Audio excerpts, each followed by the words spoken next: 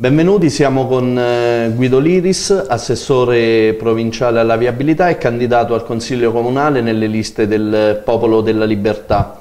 Eh, Liris, il suo nome, è stato in ballo per un lungo periodo di tempo nel eh, toto sindaco del centrodestra e del PDL. Dopodiché la scelta è stata quella di non eh, puntare sul rinnovamento e su una forza interna al partito, ma di optare per un candidato esterno civico di natura tecnica. Sì, ma eh, forse siete stati i primi voi a, a, fare il nome della possibile candidatura a sindaco della mia persona. C'è stata la possibilità eh, di credere in una candidatura di questo tipo che sarebbe stata comunque accolta, credo, con grosso entusiasmo soprattutto da un target di natura eh, rinnovativa come eh, i giovani in particolar modo e classi imprenditoriali che si affacciano eh, da poco nella vita socio-economica della città. C'erano delle indicazioni importanti che venivano da Roma che eh, richiedevano due target, due profili fondamentali o almeno sui quali poter impiantare un tipo di campagna elettorale efficace per quanto riguarda il centrodestra, era o il profilo giovane o il profilo tecnico. Come sapete benissimo eh, è, la scelta è ricaduta sul secondo profilo, nonostante comunque fosse stata quotata abbastanza bene anche la mia candidatura. Eh, sì, il fatto di questa scelta e le primarie mancate eh, soprattutto hanno creato numerose defezioni all'interno dello schieramento di centrodestra. Lei invece, nonostante la scelta poi sia caduta su Propersi, ha deciso di rilanciare e di candidarsi, quindi di combattere la battaglia direttamente all'interno del partito.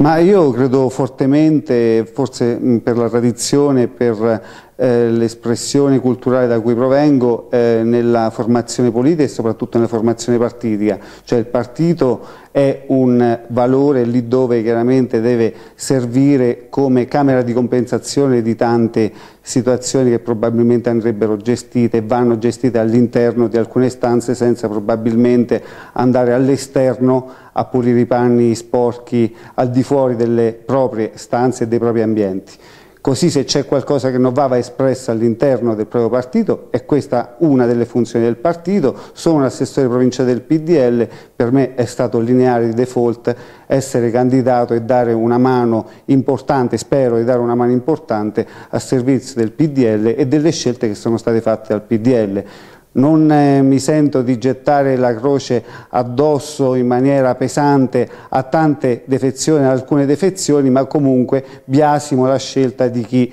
eh, sceglie un'altra strada rispetto al partito dove chiaramente si è eh, fatto un congresso da, da, poco tempo e quindi un tesseramento che significa già attivismo, che significa già eh, quindi mobilitazione sociale il popolo, la gente, la gente comune non capisce eh, le fuoriuscite come queste, soprattutto dopo un congresso che ha avuto comunque un riscontro positivo con tanti tesserati, quindi vedere dei tesserati che due settimane dopo un congresso dove sono andati a dare la loro preferenza escono dal partito, diciamo che questo è uno dei motivi per cui la gente non capisce e poi man mano, man mano nel tempo si stacca dalla politica. Lei fra le deleghe che ha in provincia ha anche quella dello sport. Certo. Eh, lo sport eh, ha rappresentato un problema ma anche rappresenterà un'opportunità per il territorio colpito dal terremoto.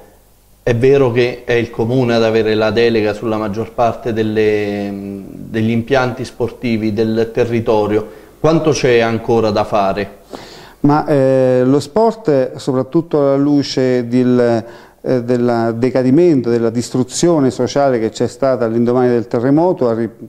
risultato un, uno dei punti più importanti da cui ripartire per la ricostruzione non soltanto eh, sociale, economica, ma anche psicologica del, della città dell'Aquila. È un, eh, un è un vero ammortizzatore sociale su cui puntare oggi e eh, devo dire la sincera verità, con il comune dell'Aquila, in particolar modo con l'assessore Arduini, tanti eh, sono stati gli incontri e tante sono state le condivisioni dei percorsi da fare. Evidentemente eh, il, eh, la protezione civile, l'ufficio regionale del territorio parla con il comune, non potrebbe fare altrimenti perché gli impianti sono di proprietà del comune, ma diciamo che i percorsi sono stati decisi assieme e soprattutto la valorizzazione di quegli impianti sportivi che erano sede di Tendopoli e che eh, adesso devono essere restituiti alle società di calcio che li gestivano perché rappresentano veramente uno sfogo sociale importante, un'opportunità sociale di ritessere comunità giovanili importanti deve essere un obiettivo da cogliere tutti insieme e eh, abbiamo già visto in tante, in tante occasioni che gli obiettivi si raccolgono insieme soltanto quando c'è sinergia istituzionale. Abbiamo dimostrato per quanto riguarda lo sport di avere la capacità di fare sinergia. Lei viene da un territorio che è quello delle frazioni, eh, su cui è concentrata molta attenzione, non fosse altro perché sono, eh, sono diventati territori recettori di tutta quella popolazione che è dovuta andare via dalle proprie case, in particolar modo dal centro storico. Quanto è importante il ruolo delle frazioni e quanto secondo lei eh, la nuova amministrazione dovrà fare per riaggregare eh, tutto il territorio comunale dell'Aquila? Ma eh, la frazione è, un, è, una dimostrazione di come in maniera più snella si possa ritornare alla vita di tutti i giorni. Eh, C'è un, uno slogan che io spesso uso quando parlo delle, dalle mie parti e ricordo come da, eh, anche negli ultimi terremoti, nei terremoti storici sono state sempre le frazioni a aver ricostruito poi la città dell'Aquila, purtroppo è già accaduto eh, nei, nel corso dei secoli scorsi. Eh, la città eh, non è l'unico centro storico, parliamo di centri storici anche all'interno delle frazioni dove ci sono delle comunità che eh, lavorano, che costruiscono e che hanno una loro identità. Ripartire da queste piccole identità sarebbe già tantissimo e avrà la capacità chiaramente eh, eh, di essere più funzionale alla ricostruzione della città stessa.